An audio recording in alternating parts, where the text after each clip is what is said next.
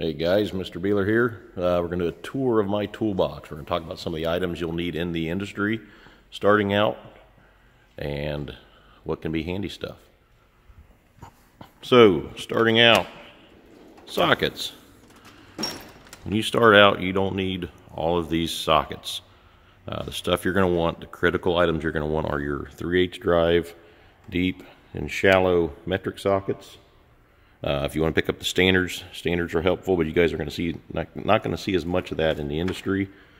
Uh, quarter inch drive, you want your quarter inch drive stuff. I would pick up metric uh, quarter inch drive deeps and shallows. They do make medium depth. These little guys. Sometimes they get into places that you can't reach the other two sockets in. Again, those are not critical, but they are handy. Half inch drive stuff, again, critical items. I would go with the half inch drive impact metric. The impact you can use on your impact, you can use on your ratchet. That way you don't have to own chrome and impact. Critical item, half inch drive metric. Uh, some of the bigger sockets, you won't need those right away uh, as you pick those things up uh, for like spindle nuts or bigger bigger equipment. Uh, you don't have to buy the high dollar stuff for them. Actually, I think most of those sockets are Harbor Freight sockets. I haven't broken any of those yet. Uh, extensions, I have some chrome extensions, I have some impact extensions. You can start out just using impact extensions. They will work on your ratchets, they will work with your chrome sockets or your impact sockets. Then we don't have to buy both sets starting out. I have some wobble sock or wobble extensions. Kind of act like a little bit of universal. You don't need those starting out. I have some swivel sockets in there. Those are handy. Again, not a necessary item, but they are helpful. There's some more swivel sockets. I have some impact swivels. Again, not an item you're required to have or a critical item. Uh, Allen bits are Allen bits. You're going to need those in the industry. Those are critical. Uh, I'd say start out with your metrics. You can pick your standards up later. Torx bits, you will need Torx bits. That is a critical item. Some of these other things in the middle, I got some universal joints. Universal joints are helpful. Uh, adapters, some more swivel sockets, some crow's feet that are 12 points, 8 point sockets, and more adapters. We have crow's feet. You don't need crow's feet right off the bat. They are handy. Metric standard. It makes them line wrench crow's feet for hard to get to fittings. We move into the ratchets. You do not have to have every ratchet they make. Uh, different ratchets for different occasions are handy. My go-to ratchet is this 3H drive flex head fine tooth. I've got several of them in different boxes. I love that ratchet. Some of the others quarter inch drive. Again, the flex heads are nice. This little 3 8 guy fits into some tight spots. Again, he's not critical. You don't have to have him right off the bat, but he will save you some time in the future. Uh, longer ratchets. Great for breaking bolts loose. You got stuff that's stuck. Torque wrench. My other little torque wrenches are at the house a half inch drive, a torque wrench is going to be a critical item. You're going to need to have a torque wrench when you start out as a technician. Let's move down to the wrench drawer. The wrench drawer. Starting out as a technician, again, you don't need every wrench they have. I still don't have them all. Uh, but a good set of metric wrenches, combination wrenches. Uh, that's gonna that's gonna be one of the tools you use a lot. Standards you might want to pick up. You'll run into some standard stuff, not as much as metric. Line wrenches, you don't have to have a good set starting out. Uh, they are a critical item. You will want to get line wrenches. You can pick up the better stuff later. I used Craftsman line wrenches for years. They did a good job. Angle wrenches for getting in tight spots, not a critical item. They are handy. These big fitting wrenches. I think I have one inch and 5 eighths is the biggest. I think I go down to 3 quarter.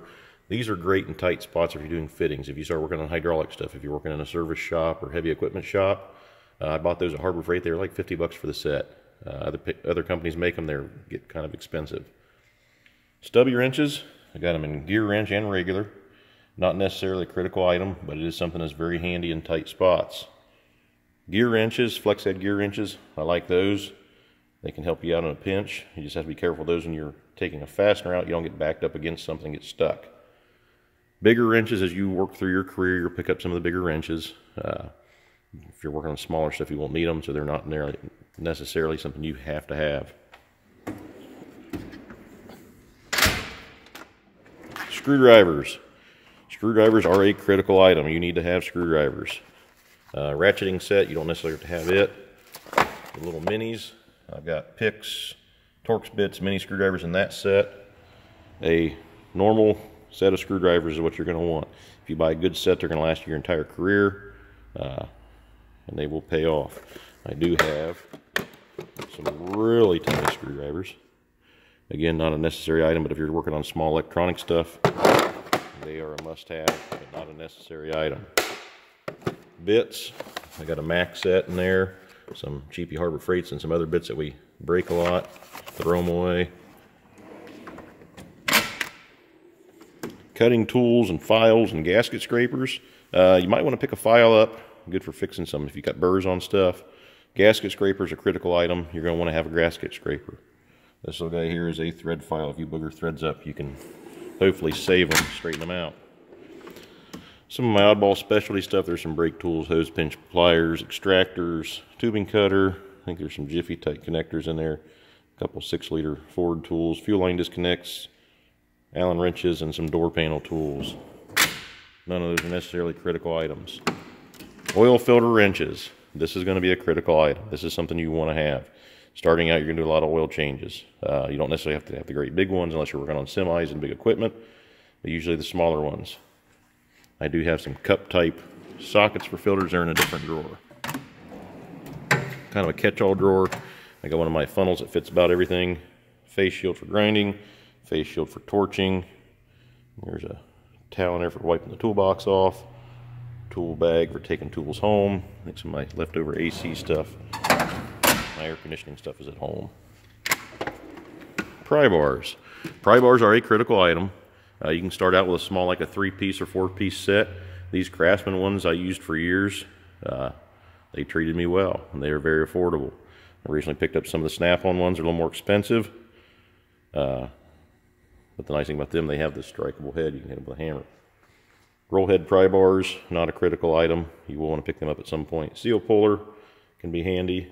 These little plastic guys, Harbor Freight sells them. They're great for taking door panels off, doing window motors and window switches. They won't scratch paint up. Chisels and punches.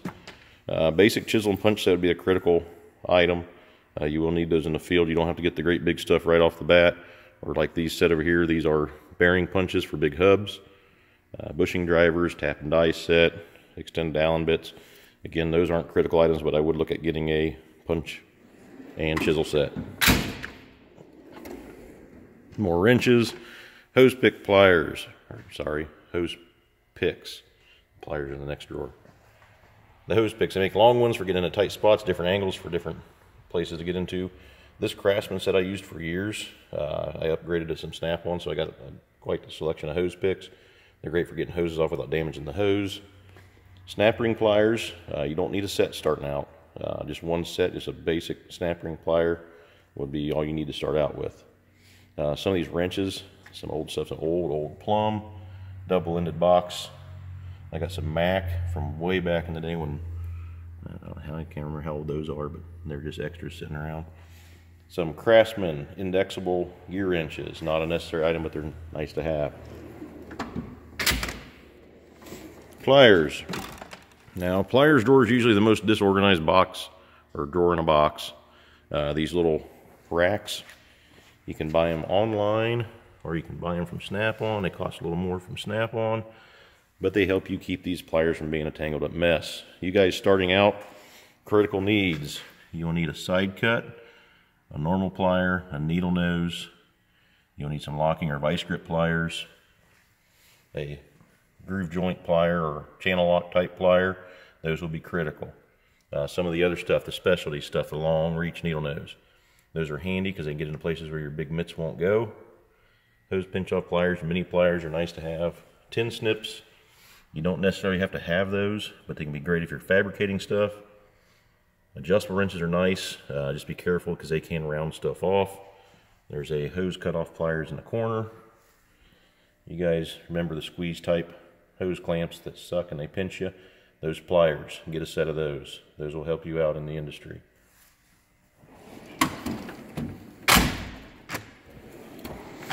Hammers. starting out with hammers, I start out with some cheap stuff. Uh, you can use cheap hammers. Uh, eventually, you'll want to upgrade as the handles start coming loose from the heads. I've got some of the Mac Anti-Vibe. I really like those hammers. They work good. The price was pretty affordable. I've got some of the Snap-on hammers. They're nice. Those are all dead blow steel hammers. I've got some rubber dead blows. I've got some Wiltons for my bigger hammers. They're pretty good hammers, pretty good price. I usually have an eight pound sledge in there, but it's at home. I think I was beating on something at home. So critical item, ball peen hammers. Another catch-all drawer. Uh, black box is a video borescope. You don't need one of those. You do not need one of those starting out. Respirators, if you're getting into nasty, dirty stuff or chemicals, you'll need that if you're getting into bad chemicals. Transfer punches, you don't need those starting out. There's a stethoscope in there and a balancer puller, optional items, another mask, some Loctite hiding in there. Great big socket. Again, this is not a necessary item. Remember what size was that guy? a four inch? Probably. That was for dump truck wheel bearing nuts. If you get into the specialty stuff, you start working on big stuff, you're to be buying bigger tools. Top drawer, paperwork and stuff I can't remember, so I write it down. Uh, or little notes remind myself to pick stuff up. Worksheets for billing customers. Air tools.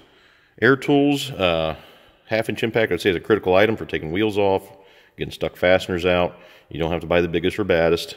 Get something that works and is affordable for you. I have some of the mini impacts. These are great for tight spots. I've got a half inch drive and 3 8 drive. Die grinders, the 90 degree and the straight ones are critical items for cleaning gaskets, cleaning rims, if you got to clean off debris at the bead.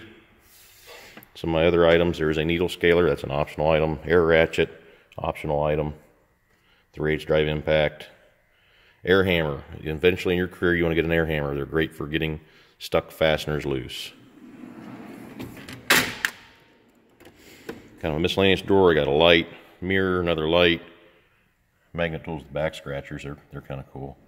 Uh, tire gauges. Critical item. You have to have tire gauges. Utility knives, critical item for cutting stuff. You'll need those in the field.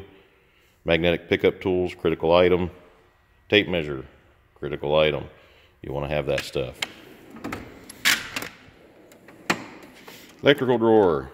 Uh, today's cars become more electronic based, more electrical diagnosis goes on. A voltmeter is something you need to have. It is a critical item. Uh, strippers, crimpers, and cutters, you need those guys. They're critical items. Terminal pick tools are not, not a critical item. You will want to pick them up at some point in your career. Test light, uh, this is an LED, so it's a low amperage draw, 6, 12, and 24 volt. Those are nice to have, critical item. Test leads, this is a set that retractable. You can roll them up to store them.